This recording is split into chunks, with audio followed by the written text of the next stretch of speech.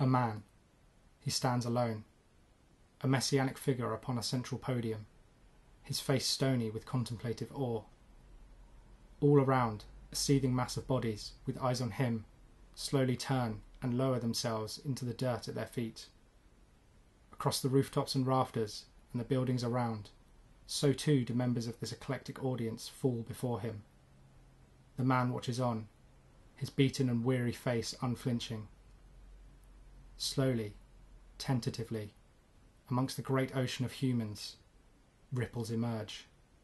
Small pockets of tenderness erupting forth from the prostrate figures all around. Hands reaching up to caress faces. Arms locking themselves into embraces. Cheeks pressed against cheeks. And lips. A young woman and a lad share a kiss, whilst two other women weep with joy as they bring their foreheads together. A young nun, all vows forgotten, links hands with others as the notions of gender and sexuality grow ever more fluid amongst the minds of the crowd. One woman removes the cap of her neighbour, and others follow suit. Gentlemen and paupers, serfs and ladies, all class and circumstance meaningless in the face of the passion. Still the man observes, perplexed, calculating. His mind races as his eyes dart amongst the crowd. His blue suit cuts like a shining beacon amongst the increasingly flesh toned horde. A jacket is removed, then another, and another still, their owners quietly acquiescing, lost in the moment. A smile broaches the man's face as they continue, compelled beyond thought and reason. A flurry of unlacing, a hat knocked askew, a woman's hastily bared shoulder looks set to encourage more. Shirtless bodies flit back and forth as further garments are loosened, and the physicality grows less platonic. Arms shoot up like masts, raising great sails of clothing.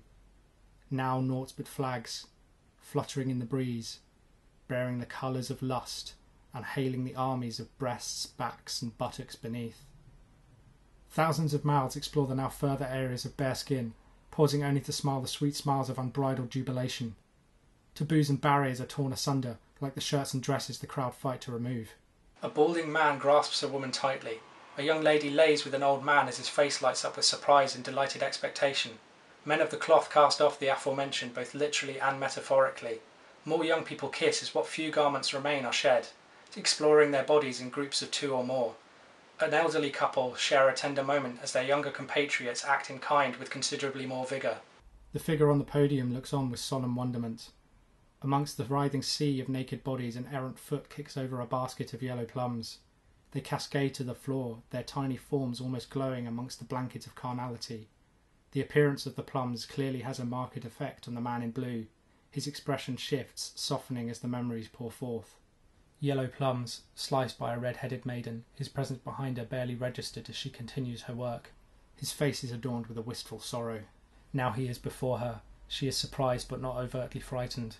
On the podium he closes his eyes, willing himself into the past the line between memory and imagination no longer defined.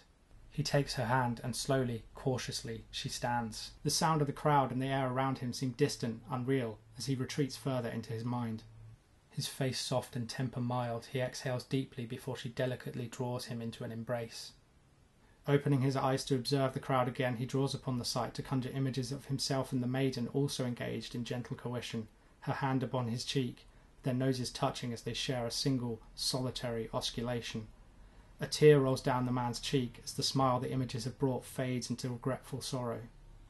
In his mind, he sees the lifeless corpse of the red headed girl lying alone on the dark, cold cobbles of an empty back alley. As memory and imagination divide once more, another tear falls upon his cheek and descends, as if weighted by the heaviness in his heart.